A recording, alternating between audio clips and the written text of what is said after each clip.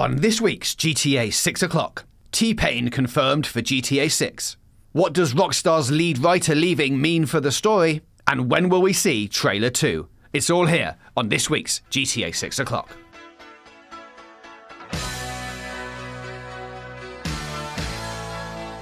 Hello and welcome to episode 8 of GTA 6 o'clock. It has been eight weeks or like two months since trailer one, so it's about time we start looking forward to when the next content drop is going to be. I'm James, uh, and joining me to discuss this and more is Dan. Good day to you. Hello, Dan. Yes, so two months since trailer one, a couple of things to discuss this week. First of all, we're going to jump back to cover some points from last week's map episode. So, thanks to everyone who got in touch about that. Thanks to everyone who watched it. You can get in touch with us on Twitter is probably the easiest way, or put a comment below. Twitter is at GTAV o'clock. Comment below if you've got anything you want to shout to us about. First up, Dan, the toll bridges. Lots of people, including Kyle, it's Stevie Boy, Matty, 96 got in touch to say GTA 4 had toll bridges. They were always fun and a quick way to get a wanted level. Uh, Matty in GTA 4, there were two toll bridges. You need to pay $5 to get through, and you do get a one star rated level if you go through the barrier and don't pay. Mark says there was a toll bridge in GTA 4. So, yes, there was a toll bridge in GTA 4. What I've done here is used my subconscious memories of GTA 4 and turned it into something that uh, I decided that I'd invented, whereas in fact I had not. Yeah, it was a latent memory that came back to haunt you. I had completely forgotten. I guess in the big scheme of GTA 4, my takeaway wouldn't be Good grief, do you remember that amazing scene where I paid $5 to cross the toll bridge? Or I didn't and I got a one star wanted level. So thank you to everyone in comments who pointed that out. Uh, really good note. And as James says, I think he's uh, manifested that into being from latent memories. Yeah, there aren't any original ideas anymore. So you just, you know, dress up old ones uh, and pretend that they're yours and make them new. That's that's what I've done.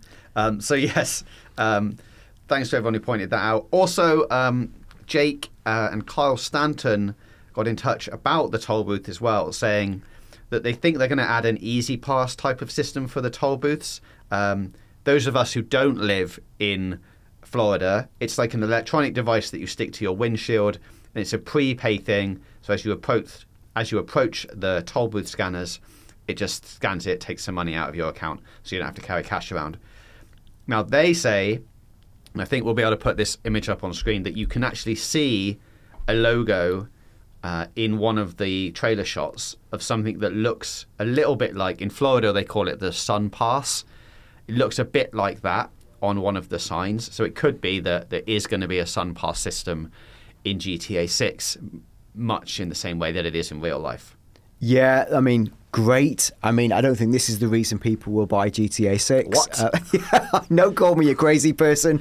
Uh, I feel as excited about this as I might do a realistic implementation of the ULEZ system that currently runs outside London, which is an absolute mind bending nightmare as you approach the, the city and Yes. work out whether your car is going to get fined or not. So please, Rockstar, keep this to the fringes, but uh, a little bit of realism done in a fun way. Yes, please. That's good. I think that's the kind of thing that could be in here and would very much fit into the real world setting and, and all of the things that are going on. Uh, we know, as we said last week, that there is Apple Pay in the game. Yeah. This is just like an extension of that, and I think it could very much be uh, driven over the bridge. You have to pay $5 of your money. And that's that's Fruit Pay, Apple's lawyers. Should you be listening, of course. All Yes. all likenesses are completely accidental.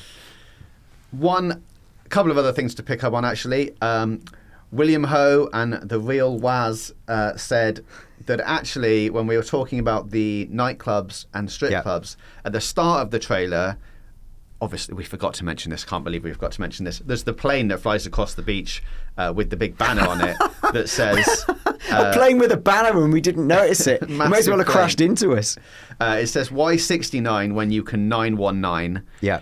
which is, I would suggest, and I think most other people have suggested, a reference to the Club 11. Yeah. Because it's got the ones in it. It's the same kind of thing. Now, the interesting thing with this is uh, that it's why 69 when you can 919. Like, it, 11 is not a strip club. that's the other club that is we've seen in the trailer, like Yeah. which uh, is called we think the King of Diamonds in real life, which is now shut down. Um, so why would they be saying that about a different club that is from a different genre? It's basically why go to a strip club when you can dance? Like it feels weird. So speculation hat on, Dan. You ready? Yeah. What if there is a battle going on for consumers, for customers in the nightlife, you know, the nighttime city kind of thing? Could this hint towards the choices that you might get in game? So we know that property ownership is the thing in Vice City, right? You could own the club. Yeah. GTA Online, you can own multiple Yeah. businesses. What if this is a hint towards part of the game where you have to choose between the nightclub and strip club ownership, which then possibly opens up new missions but locks other ones off, gives you a version of your Vice City that makes your playthrough more unique than other people's by giving not game changing branching choices, but enough to go, oh, you own the dance club, therefore you get to see you know this cutscene from the DJ or whatever. Yeah, I really like that. I mean, it aligns with the mechanics from GTA Online, which has often felt a bit more cosmetic, but I think something that would notionally allow you to play the light or dark path of capitalism would be quite interesting. Uh, whether that's, you know, I would rather run a really sordid strip club than uh, an exciting bar that attracts cool DJs. Uh, that's quite a cool element, as long as I think it doesn't completely corrupt the flow of the game. I, I think that would be fun and probably a continuation of there was there was choices to be made in GTA 4 which perhaps felt more consequential than they really were but I, I think that the first time you were confronted with those in GTA 4 it felt big. And it really was like oh my god who do I kill? Um, that that felt big right? And I think if they can do something like that that suffuses all the way through GTA 6 great. Makes it a bit more interesting. Yeah, and obviously the ultimate choice in GTA Five, where you you know have to choose one of the main protagonists to kill or not. Yeah. Uh, obviously, one of those only one of those endings is canon, uh, but it is still a choice, and you could see them developing that a bit further into six with something like this. I would imagine. Uh, do you ever choose can I, a matter of interest do you ever choose the hashtag bad ending Me personally, Yeah. You, well, do, do you play the bad timeline, or do you prefer to go? What's the the right answer? Well, I mean, you could probably work it out at the time, but I, I don't think it explicitly said this was the bad choice, right? It was just Yeah, I you suppose. just decided. Uh, normally, though, in like other games, no, normally play like quite the straight Yeah, good same. guy. Same. like because I don't like killing nice people.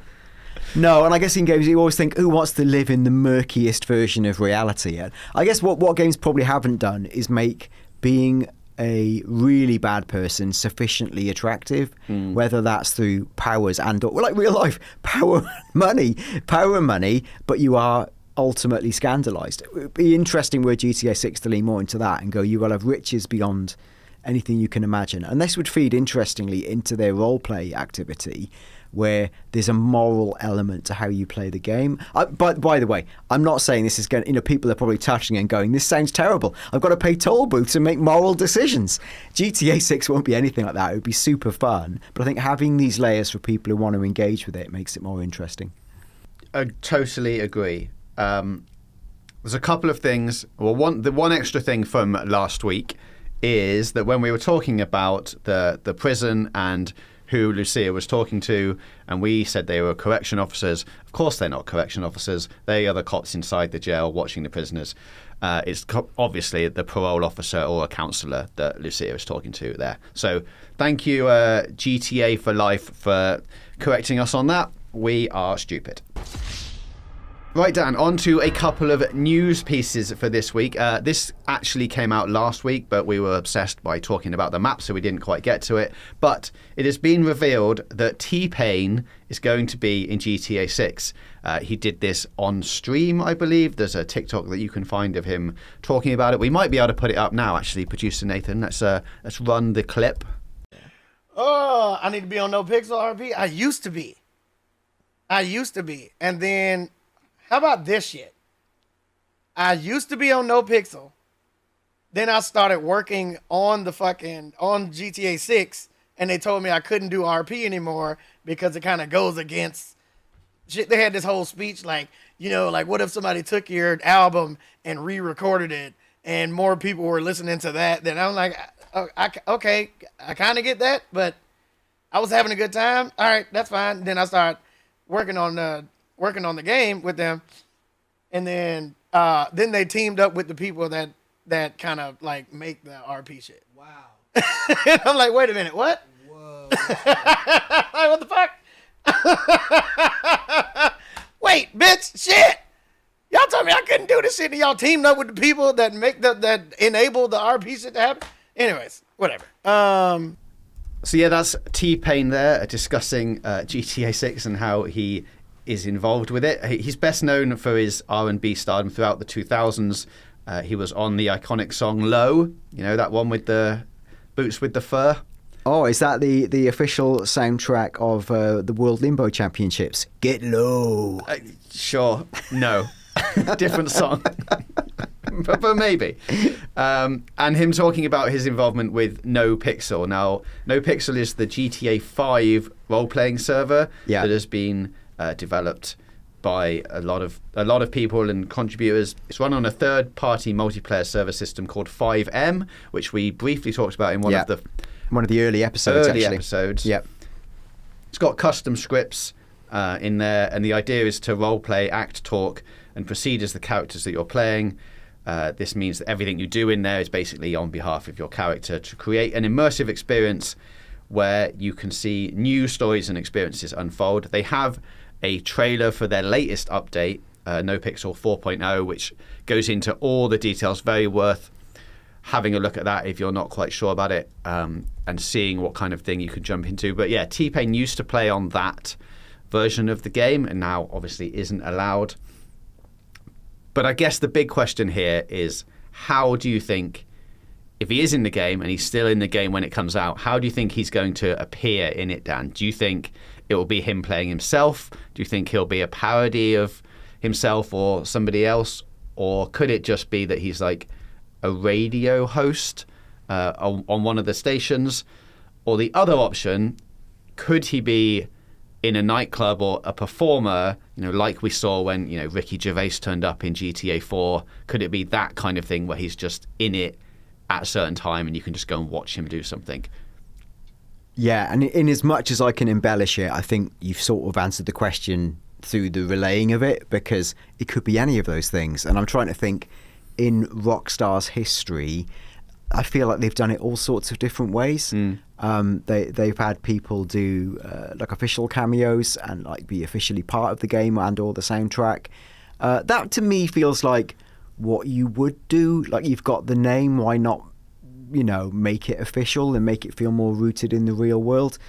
Equally, he could be anonymously voicing a character who happens to be exceedingly like T-Pain IRL. Um, I, I don't know which way this will lean, to be quite honest with you. And the other big piece of speculation around this, then, or things that we can speculate on at least, is do you think that this is a controlled leak in the sense that it's not really a leak at all and it's part of a marketing strategy? And is this part of the start of a rollout of confirming a few people like him on the fringes to just keep that news beat ticking over and keep GTA 6 in people's minds? This, I think, is a great question because I've always wondered the extent to which leaks are leaks or are they officially sanctioned and made to look like leaks in order to gain more traction. I've often pondered this about Ubisoft games, mm-hmm. not to name names, but because Ubisoft were the leakiest ship in the world, every single Assassin's Creed game seemed to leak three to four months early, Yeah. usually on Kotaku. Now, whether that was because there was a contact within Ubi who had a contact at Kotaku and would just say something and that's how it worked, or had it got to the stage where Ubisoft had accepted that was an unofficial part of their strategy and the setting and character was going to leak early, I don't know, and I think actually this is something I think we could look at for another another episode is to actually speak to a PR professional or professionals and ask about their experience of does this sort of thing happen? Like, are unofficial leaks officially part of their strategy? I think that would be an interesting conversation. I suspect, though, with a project of the size of GTA 6, the size of the project and the duration that it is in production for, you know, it's over a decade. When you work with that many people, and it's it's the same with the film, but even more so. Thousands of people are working on GTA to keep them all to keep stum and you know abide to their NDAs is a massive undertaking, and I think people just get leaky, or some people know the NDAs and just don't really care. Yeah. And they think I'm a bit bigger than this. Whatever. I don't work with them again. It was fine to work with them once. I'm I'm done. So I don't know which side of this line this sits. I would say that what either way it's helpful because shows like ours have something to talk about. and and in the absence of concrete information, which we'll get onto when we talk about when we expect the next trailer or screenshots, you know, history certainly around GTA 5 was that we we had nothing officially to talk about for, for like eight months plus, which was crazy. And we're only, like we said at the start, two months into the GTA 6 campaign. This is quite helpful for the oxygen of the GTA 6 ecosystem. So Rockstar might see it and go, yeah, do you know what? It's fine. Yeah, Uh, and I think that's the interesting thing is it it has been left up, you know, and there are clips about it around. And normally, if it's something that's, I guess, bigger or more impactful, it will. It, you'll see it immediately get deleted or as, as deleted as you can. But that clip is pretty widely available. So it's either that they've decided, well, say what you want and you're not in the game anymore, or it's ins insignificant enough for them to say just leave it, and it looks worse now if we try and get it taken down because then there's a whole load of speculation around how big it was part was you playing, or like you say, it is part of a a wider. Oh, All right, you can tweet this on you know in January at some point. You next, you know, famous star. You can do something in February. Just don't tell us when you're doing it. Just do it, and that's part of the thing. Who knows? And this is this is the thing. The minute you engage to say don't release this thing, you're confirming it. So this is why for a rock star, they're better to let things fly. And you could even see when the trailer leaked, there was a brief attempt to try and plug the leaky boat. It's just that I think about ten minutes in, they went, "No, this boat has a lot of holes. We've just got to release the trailer." And and they were forced to pivot strategy. But I think the that was a magnitude of leak where they had to act, but then realised they couldn't stem the tide. Uh, it's a lot of nautical illusions here. But with this one, I think they think, well, whatever, you know, like it makes sense. It's not game breaking for anyone. Just let it be. Okay, one more quick thing to mention before we get onto the big topic of trailer 2 or when we might see more content from GTA 6. And this is something that also happened uh, last year that we haven't covered yet, but we think it's worth talking about is the one of the lead GTA 6 writers left Rockstar in October last year. Uh, he used to work at Rockstar Games for 16 years. He's been the creative lead on all of your favorites, including uh, including GTA 6, but Red Dead 2, GTA 5, Max Payne, LA Noire, the original Red Dead, etc., etc. So he's been there a long time, but has now left the studio to go and work elsewhere. But Dan, what did you think that this means for the GTA 6 story? Like, is him leaving a indicator that the story is done? Yeah, possibly. What I've seen a few people in the GTA community talk about this. There's a chap called Michael Unsworth who started work at Rockstar uh, since 2007. In fact, his CV or his LinkedIn says he worked as senior creative writer from 2007 to 2019, which is quite a chunky 12-year stint, and that would have taken him through all of the genesis of GTA 5, maybe Red Dead, uh, certainly into a hefty chunk of the creation of GTA 6. And in fact, then he got promoted at Rockstar to become writing director, and uh, this is an amazing job title, the vice president of writing. Uh, that it blows my mind that such a job would exist. very but- American, But that. you know, there, but there we go. And you know, he's, he's very American, but within essentially the Scottish HQ Yeah. of Rockstar North. So amazing. What it would say is he would have been at GTA 6 at what we assume is the start of the project, probably anywhere between 2010s to 2013, 14, depending when they seriously got moving with this. Uh, now, there was an interview with Dan Houser, you know, he used to be the big Rockstar head honcho, credited with all of the writing. He did one with The Guardian after the release of GTA 5. He talked about the process of creating a game like GTA. Now, what he said was usually they would begin with the world and the setting. So that's kind of the first thing they would pick, and they would let that settle and think about how that would dictate the mood and the vibe of what they were going to do, and that would help them start building that world. The second thing would usually be characters, because from characters, you can get into motivations. And from mm-hmm. motivations, you need writing because then you need to lay out the bones of the script and what happens. Now, it's it's likely that the bones of GTA script and story would have been laid down. You know, it could have been anywhere in that gap between 2012 to even 2017, 18. I would be amazed if that if GTA 6 is still undergoing major rewrites. I'm sure they're tweaking missions, changing bits Yeah, of scripting, yeah. and there's clearly writing work going on, and probably will be right up until the final. Uh, you know, not the final day, but the the final stages of dev, right? But in terms of the core story, I would say it's probably done, right? Now, the, what that would suggest is there's a guy who's old school rock star who worked with Dan Houser, who would have been present through the GTA 6 process all the way through to brackets completion. So that for everyone who's worried that Dan Houser's departure means the GTA that I knew is gone, I don't think that's as clear cut as you might think. And of course, where has uh, Michael Unsworth gone? He's gone to work with Dan Houser at his new launch, Absurd Ventures. So he may feel like I've done my piece, GTA 6 done, and in fact, his LinkedIn credits his previous work, which is like GTA uh, 5, Max Payne 3, LA Noire, Red Dead Redemption, GTA 4, and Grand Theft Auto 6. So he's saying he's, he's happy to put his name to that part of the CV. So, you know, let's wait and see how the actual tonality of the game is, but don't assume that Dan Houser's departure means this is a different game and it's gone a different direction or whatever. There's, there's some creative DNA throughout. Yeah, he totally would have written all of the key beats, like you say, from you know how the characters get from point A at the beginning of the story to point F at the end. Like that kind of stuff will be pretty much nailed down. It's just the the minor intricacies, of you know story beats, mission structures, that kind of thing. That's probably still being worked out. But yeah, so that's um, interesting that he has left, but I don't think significantly would impact anything to do with six at this point. Okay, then it's time for the big question. Trailer 2, GTA 6 Trailer 2. When will it be released? Uh, and I think to get a good sense of this, we can look back at the history of some of other Rockstar's games, you Yeah. know, like GTA 5 and that kind of thing. Where were their beats? How does it all translate? We can kick off with GTA 5, the one that we're most familiar with. Yeah. Um, the, and some of these things are, are mind blowing that I had to go and check because the dates are ludicrous. But the first GTA 5 trailer was released 2nd of November 2011.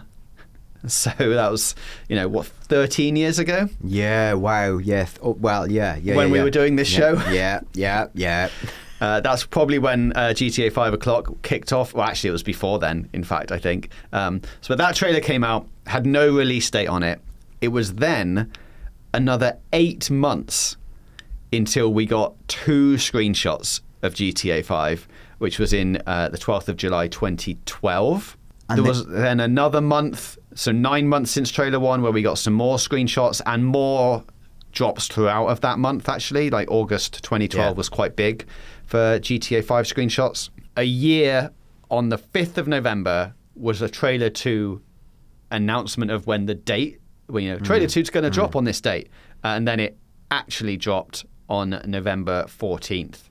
Uh, so basically, a year, pretty much exactly a year since the first trailer was when we got trailer 2. That's also when we got some previews and screens of GTA 5 when certain outlets were allowed to go and see a very thin vertical slice of the game. Yep. If I remember rightly, it was the uh, FIB tower. Uh, it was not a heist, but there was a helicopter. People were re- rappelling down the sides of the buildings and smashing through the windows. You can see a bit of that uh, mission in the trailer, I think, that they released. But it was basically a. The trailer was a reflection of the previews. Yeah. Uh, but so, but yeah, so that was a whole year after trailer one was how the GTA 5 timeline went. Uh, and then, as we all know, the game came out on the 17th of September 2013. So that's the history of the GTA 5. uh, media drops. There were some other bits and bobs in between there and after those dates, but those are the significant ones I think are worth looking at. We could then look at Red Dead 2, the first trailer for Red Dead 2, 20th of October 2016, which did actually have a fall 2017 release date on it. Again, seven months until the first screenshots, and then four months after that, trailer 2 came out on the 28th of September 2017. Uh, dating a spring 2018 release. So there's 11 months between the trailers there, which so far, I will admit, is not boding well for content that we're going to get pretty soon about GTA 5. However, there is a silver lining if we go all the way back to the GTA 4 campaign, which I think, if we are basing this on GTA 6 is going to come out in 2025 and in the March, you know, the January to March window that if we're going by Rockstar's financials and all of that kind of stuff. So if we're assuming that it's going to come out in March, the GTA 4 structure of beats seems to fit better. So they had their first trailer on the 29th of March 2007. It had no release date at all, not even a year on it, like just nothing. It was just a trailer for GTA 4. Some screenshots came out at the same time, which were pretty much uh, reflective of the trailer, which makes me a little surprised that they didn't do this for GTA 6. Like, there's enough screenshotable things in that trailer, or like slight variations of it, that could have been released as screenshots, but we didn't get any. I mean, essentially, we have got screenshots because you take screenshots of every single shot of the trailer. Uh, but as we know, they're not quite in game shots. They're a little bit more staged and stuff. So maybe that's why they didn't come out. Following on from that, it's three months until trailer two, which came out uh, in the on the 28th of June 2007. Still no date on it at all. Four months later, in on July 25th, we get the first previews of GTA 4. And then nine months from the release of the original trailer, there's trailer 3, still no date. And then one year after the release of the first trailer, we get trailer 4, which was on March the 28th, 2008, where it finally dates the game for April the 29th of that year. Uh, and then it did come out on April the 29th of that year, 2008. So that is a short, condensed timeline of releases there. It's basically quite a few trailers, quite a few regular content drops, previews in the middle of it, and a year from trailer one coming out to the game launch, well, a year and a bit. Which, if we put that into the release calendar of GTA 6, hmm. would follow a similar pattern on such a condensed timeline like that if they are in fact still targeting March 2025. Yeah, assuming they, they want to slot it within that fiscal year, which is their most important internal uh, deadline or milestone, uh, essentially. Uh, what I would say about all of this is, and it is fascinating to see how they've done it before. I feel like much like stock market analysis, uh, past performance does not indicate the future. Correct. Um, not, but that's but except when it does, because sometimes things happen again and it looks like a pattern. Um, and I think there are bits of this we can take. The overlay I would put onto all of this that I think is fascinating, particularly when looking back at GTA 4. This will catch you on the hop, but I, I was fascinated as I was googling it. When the GTA 4 trailer was first released in March 2007, do you know how old YouTube was? Joy. Uh, didn't YouTube start around the early 2000s. Yeah, now I don't want to catch you on the hop because I wouldn't have known either. So uh, this blows my mind. YouTube officially launched on December the 15th, 2005. So that means the GTA 4 trailer, YouTube was less than two years old when it came out. What? Like, that blows my head off.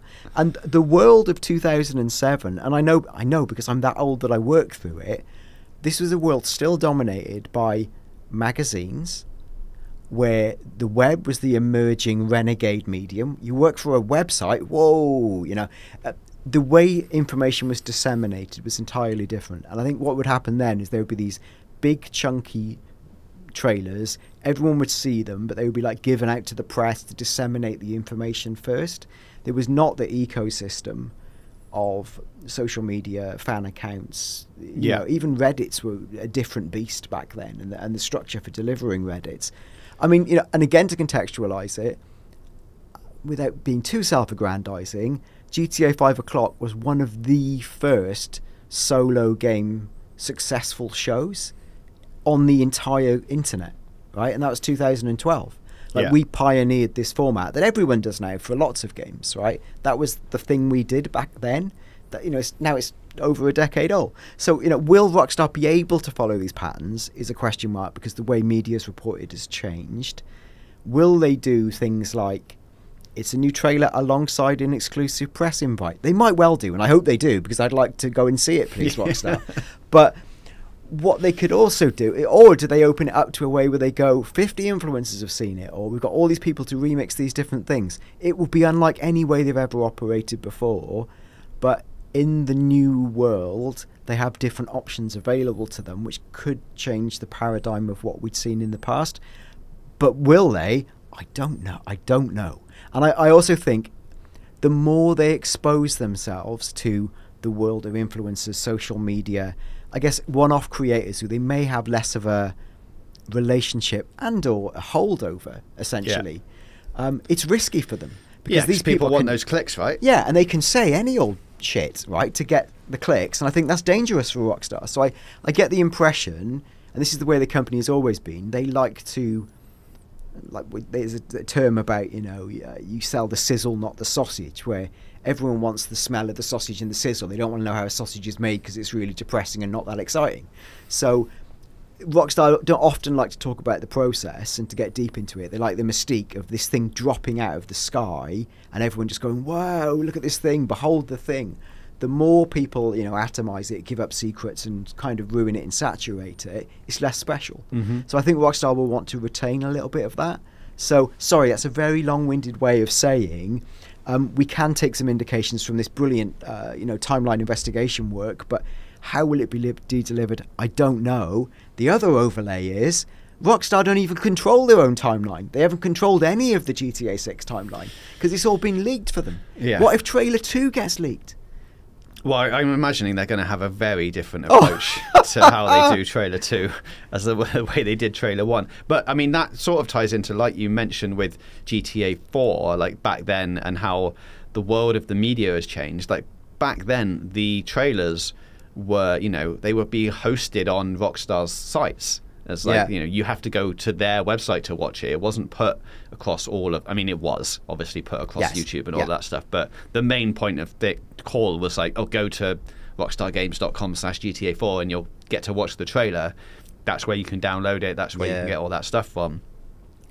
It, it could be that they go back to a way of going, the only way to control this not leaking is to put it on our own media platforms, like our own websites, and get people to come there. The problem with that is, as we saw, as soon as it gets released, you know, you only have to look at the YouTube numbers. They've got a hundred million people trying to access their website. It's likely it's going to fall over, and the servers won't be able to cope with doing yeah. all that stuff. So it's a it's a chicken and egg thing. Like, wait, what do they do? I think what they do is they just upload the trailer privately, don't put it as a YouTube premiere, and then just flick the switch, and then it just goes out.